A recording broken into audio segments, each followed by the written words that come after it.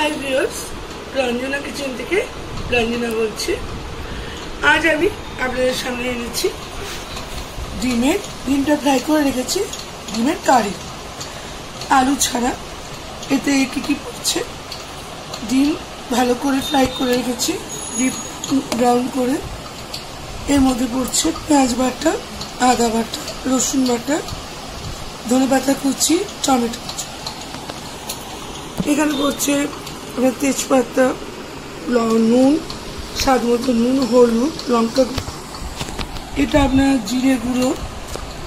এটা একটুখানি আমি এক কারে মানে সামান্য একটু ভাজা মশলা আর জোয়ান বাটা সে মশলা, একটু চিনি ফ্লেভারের জন্য, আর একটু ফ্রেশ ক্রিম দিচ্ছি। এবার এই মশলাগুলো আস্তে আস্তে দিয়ে ভালো করে ভাজবো। আদা রসুন টমেটো কুচি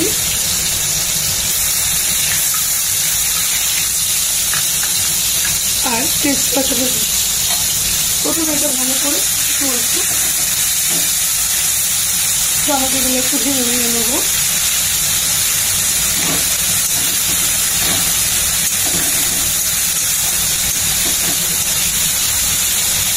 একটু নরম হয়ে যাবে।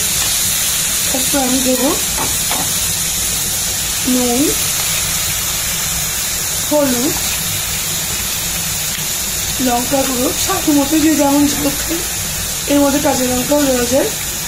একটু ভালো মশলা, একটু জোয়ান মৌরি ভাজা, একটু জিরে গুঁড়ো।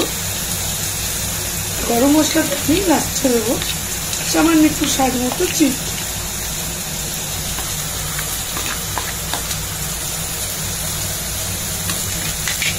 এবার আমি ভালো করে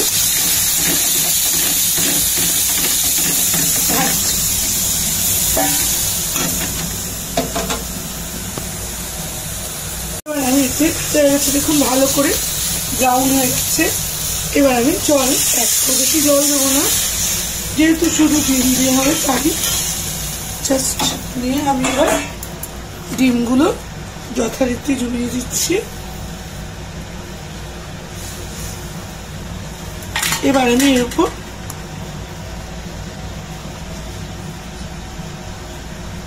ধনে পাতাগুলো ছড়িয়ে দিচ্ছি।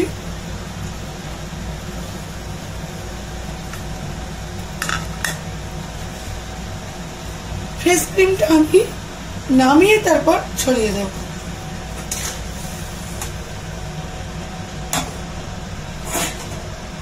আচ্ছা আমার ডিমের কারি হয়ে গেছে।